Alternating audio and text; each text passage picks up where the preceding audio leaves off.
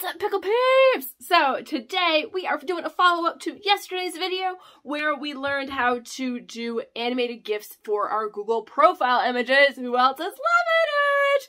Totally ridiculous, superfluous, but fun! And if your brand is fun, then I highly encourage it. I think it's very, very entertaining. I am exceptionally entertained at least. Uh, so that was yesterday. Now today we are taking it a step further and I'm going to show you guys how to do a um, beautiful email signature that goes above and beyond what you can do just in Canva. I'm going to tell you why. So we're going to go over today how to design a gorgeous email signature, how to um, set it up and put it into Gmail where you can have multiple links and how to do it both static and animated. Who's ready for these three? Let's do it. But first,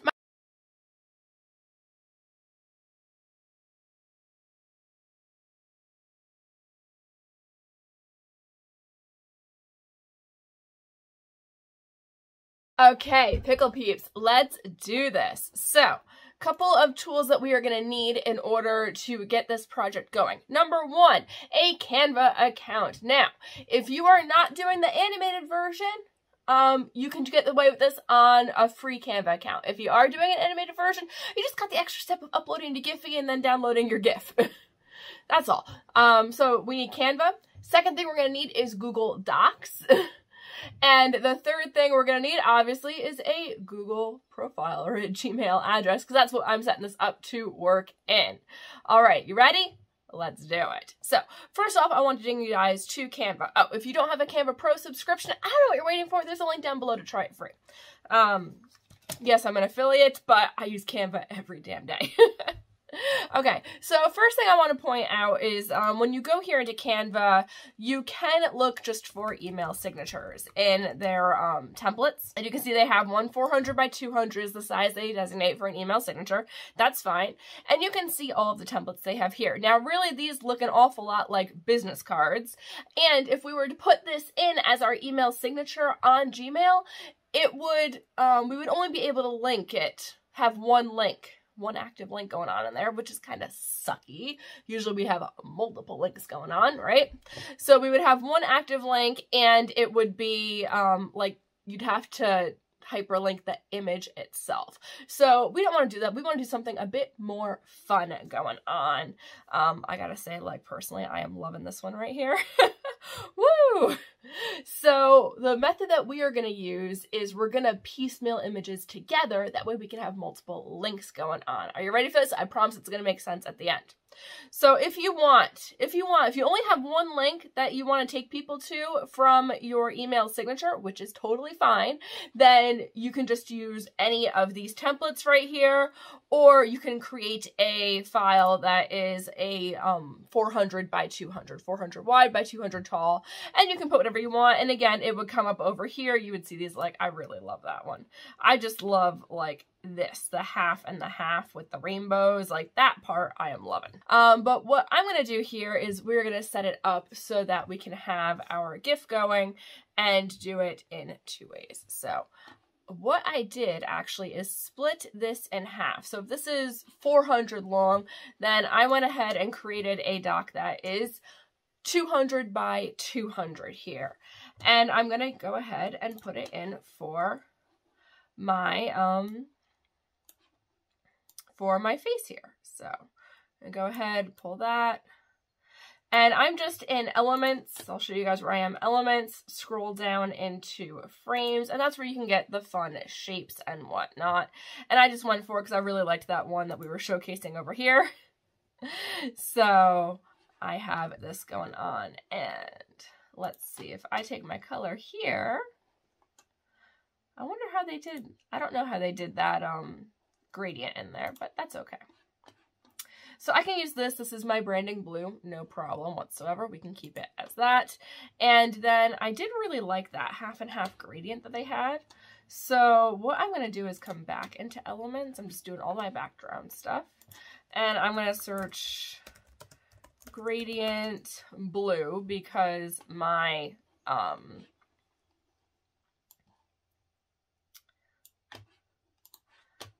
my branding is blue and I want this, like where's the halfway point, stretch it down. And I'm gonna go ahead and I'm gonna send that backwards. So I can right click and send backwards. Boom. I don't know how great this is gonna look on here, but we shall see.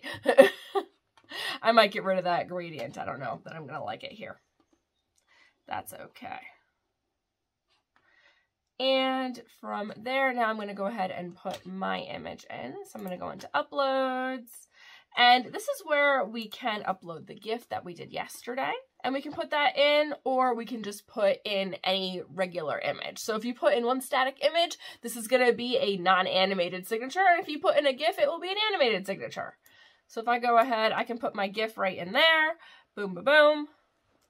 That's fine. Actually, I think we get rid of that backdrop and we'll just have the plain circle. Cool. So I can go ahead and share on that, download, and again, I'm going to download this as a GIF. Could I have just used my square GIF from yesterday? Absolutely, but I wanted to make sure you guys knew how to do this. So give it a second for this to download. Fantastic. Okay.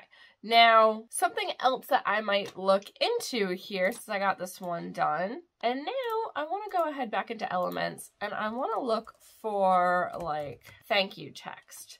But what I'm really looking for is I want animated text. So I'm going to come here into my filters. If you are on, um, if you're on standard, I don't know how much you have in the way of this. So really, I would love to have like a handwriting one going on, and it depends. I'm not really seeing anything that I like. The TGIF is pretty good. Stay positive they have. I like stay epic is one of the things that I say all the time. I'm not really seeing what I actually want in here, so we might not be doing this part. Um, but I do have another place that I want to look. So there are two places that you can look for GIFs. You can look in Elements under, um, this would be like your graphics, or you can go in and you can add in Giphy. Now, if Giphy is not showing up in here, there is a way, I think you would click on more, and that's how you would get Giphy. Like they have emoji, they have QR code generators, they got all sorts of stuff in here. So back over to Giphy and say I put in thank you. And I don't want all the extra stuff. So really what I want is a thank you sticker.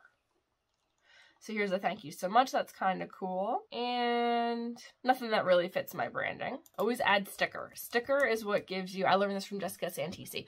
Um, okay, that cheers is pretty cool. It'd be even better if it was blue instead of pink. You want to add in sticker because that is the GIF equivalent to a PNG file on images. All right, so we have this as an option, or we can come up into text. We can add a heading. So I'm to do my stay epic in there. And now we can try to animate our heading. So we have basic words, oops, simple writing. So we can do a typewriter in there.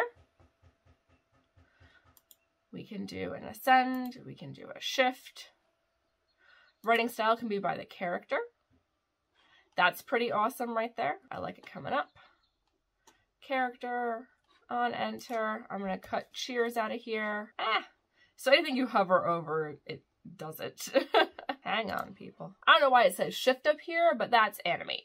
so we have on enter by character going up, and then maybe I want a squiggle underneath. So we'll come back to here, squiggle line. I don't know if that's actually going to give me what I want. Graphics, and I want this one. Even that right there is just kind of cool. And let's preview. Let's go back to the banner. I want to see how long it takes to do my stay epic. About one second. So I'm going to take my six here down to one. Boom. How's that? I'll take it. It works for this. And we're going to download this one. Again, download as a GIF. Okay, so we got two cool things going on here. Now, we are done with Canva and we're going to jump on over into Google Docs. Now, this is the strange part, but we need Google Docs for the coding capabilities. So it's going to do this, it's going to handle the spacing and like the backend coding for us. So what we're going to do here is we're going to start by inserting a table And this is however many columns you want your signature to be. So if you were looking at some of those templates and you're trying to rebuild them and because you want them clickable and you wanted three portions to it, that's fine. I'm going to do a half and half a two, por uh, two side here. So a two column. And now we're going to go ahead and insert our image, upload from computer, Boom, there's my signature GIF ready to go. So this is going to be obnoxious because it's an example of all the crazy things you can do. I really would recommend only having one animation in these things if you do any animations.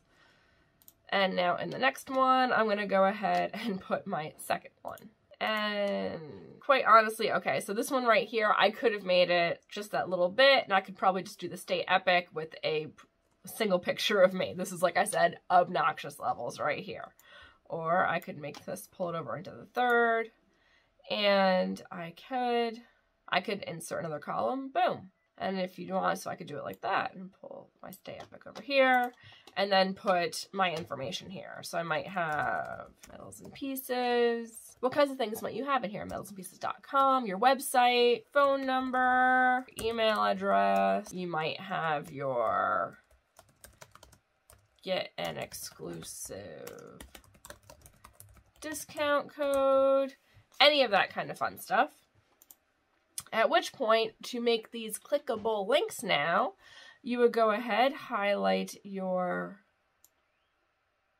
text, and you're going to come up here to the hyperlink button. So insert link, warrior, boom. I take this one, link it, come, Maybe another one. Earrings. I mean, don't go crazy with your links, but your general contact ones, go ahead and feel free to put those in here. And this one I think is go dot lucky. I think that's the name that link. Did that work? Yes, it did. Cool. All right.